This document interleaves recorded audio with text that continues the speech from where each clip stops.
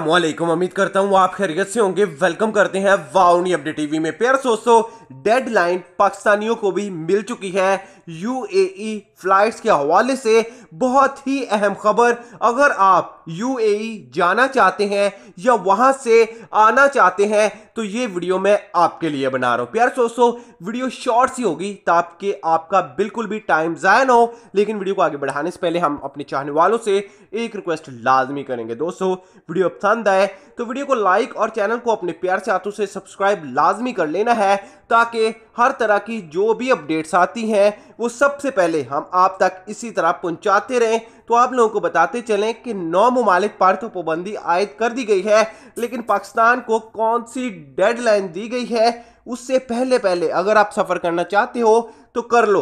31 दिसंबर 31 दिसंबर का टाइम बताया जा रहा है कि पाकिस्तान के पास है, क्योंकि न्यू ईयर्स पर लाखों की तादाद में विजिटर दुबई में आने वाले हैं, जिस पर बहुत सारे ममालिक पर पाबंदी आयद कर दी जाएगी।